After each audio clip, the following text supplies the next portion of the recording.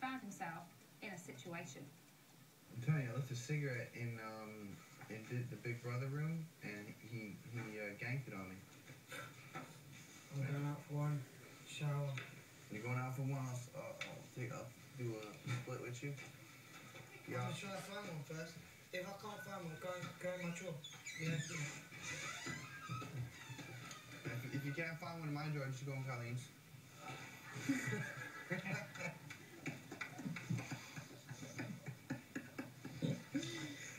shit. oh, shit.